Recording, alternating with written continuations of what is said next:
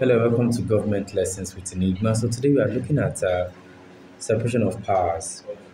So separation of power may be defined as the separation of or division of political powers and functions among the three arms of government: the executive, the legislature, the judiciary. Now, each body should be constituted and be involved only in the in the administration of a department of its own department. So uh, the idea behind separation of power is to divide political functions among three organs of government. So, for example, the executive should be only involved in policy making and implementation. So, some liberal writers believe that um, power is dangerous.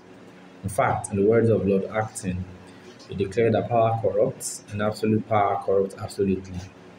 So power is one thing that people do not really want to, uh, they don't want to play with. In fact, when power is in the wrong hands, it can lead to tyranny, can lead to dictatorship, it can lead to anything. So the, the brains behind separation of power is that political power and functions among the three organs of government should be separated, should be divided.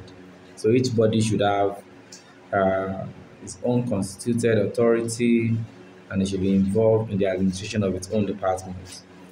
So, in the spirit of law, according to Baron de Montesquieu, we argue that if the legislature and executive power are in unity, we argue that there can be no liberty and freedom of the citizens of the country. So, he, he believes that if the legislature and the executive are in unison, there will be no liberty for the people.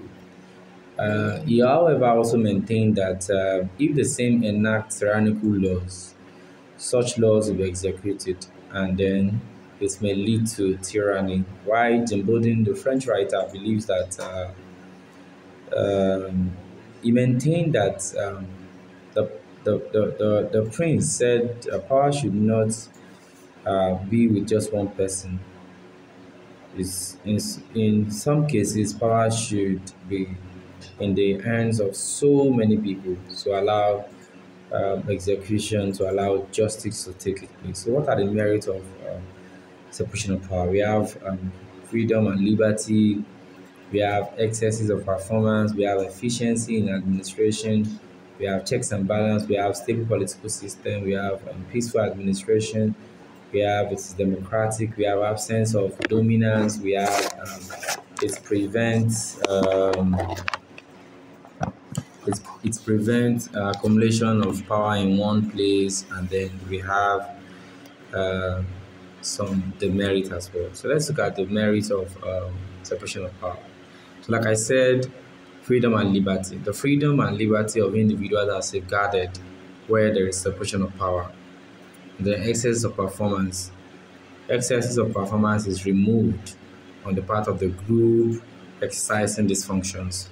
So another is um, checks and balance. Now, of power produces a proper coordination and function since each organ acts as a check to another. So stable political system.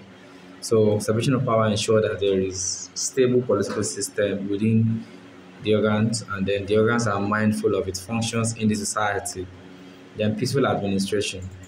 One of the goals of of power is to ensure that there is peaceful administration which equally produces what we call a peaceful atmosphere. So separation of power is also it is democratic.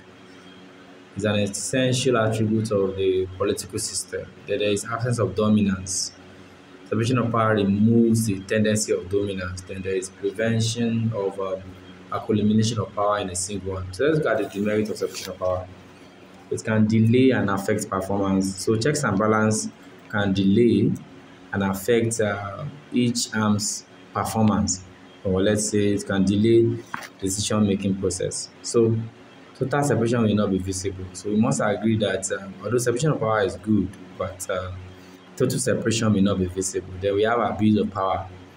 The possibility that uh, the possibility of separation of power checking the abuse of checking the abuse of power and violation of rights of citizens cannot be achieved.